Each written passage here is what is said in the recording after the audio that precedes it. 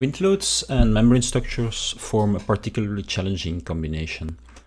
Because of their curved shapes, their low self-weight, the often temporary nature, which means that the anchorages are relatively weak, means that they are very susceptible to wind loads, which can, in some cases, lead to structural failure.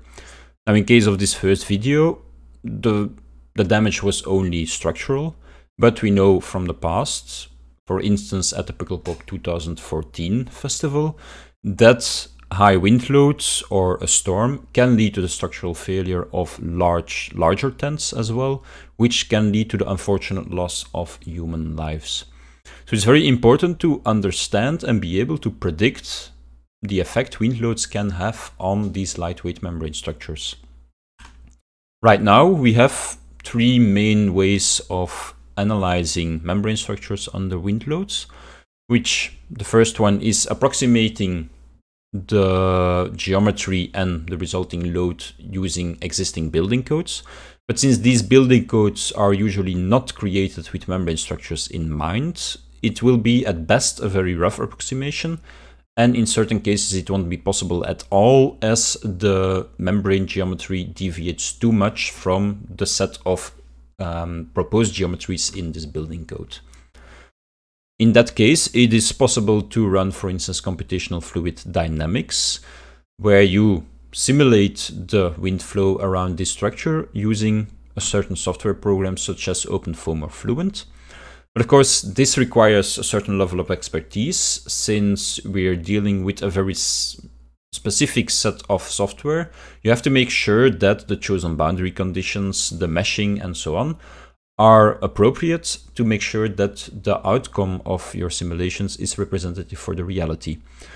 In addition, it's computationally intensive. In certain cases, you need servers. Now, with recent hardware developments, it becomes possible to run these simulations on a regular desktop computer, but it still takes a lot of time. A third option is to run experimental wind tunnel tests. Um, but again, here it does require specialized hardware. Not everybody has access to a wind tunnel. But you also need expertise, not only in terms of operating the wind tunnel, but also in scaling down the reality.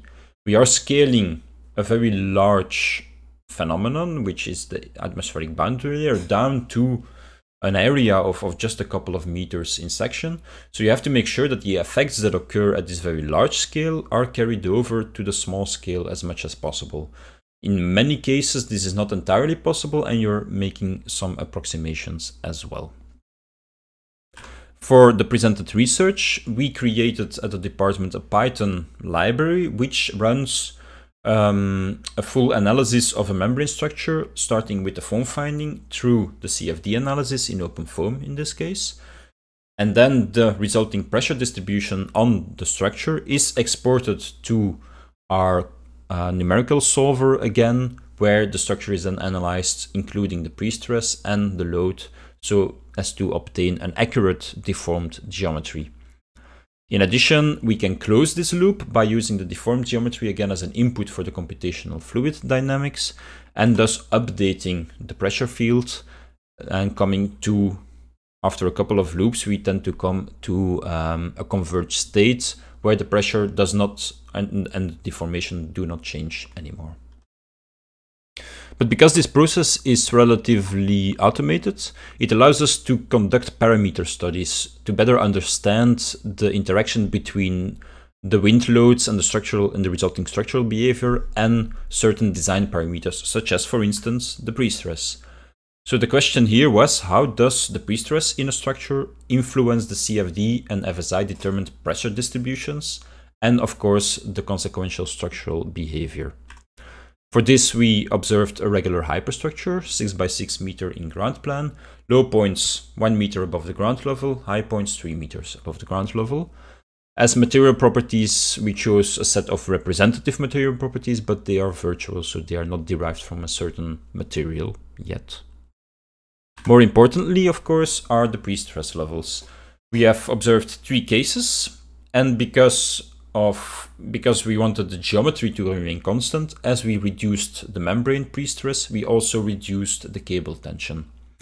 So this makes sure that the starting geometry is exactly the same. As boundary conditions for the wind tunnel, we chose an ABL1 boundary layer, which was initially investigated in an empty domain to make sure that it was consistent throughout the domain.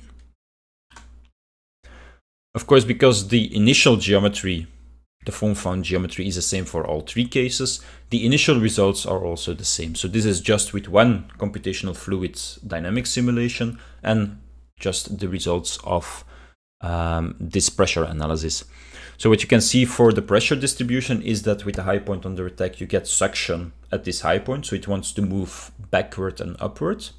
And as you move more downwind on the structure, you get this large pressure zone, which is a combination of the effect of the pressure pushing down at the top surface and suction occurring at the bottom surface due to the Venturi effect occurring between the ground and the structure which will cause a speed up in the wind and suction at the bottom surface.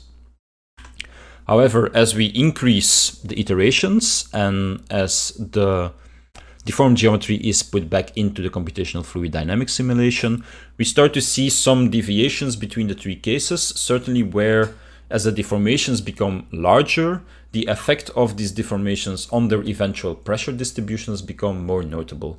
Where you, can see that the difference between the 3 kilonewton per meter case and the 0.5 kilonewton per meter case is very apparent in the net results here. A same effect can be seen with the low point under attack, obviously.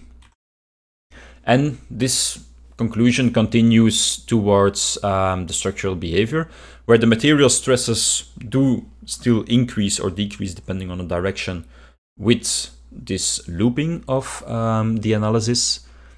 And the same can be said for the deformations. Now, of course, the effect is more, it's less pronounced for the high pre-stress case, where we can just see between step one and step three an increase of one to two millimeters.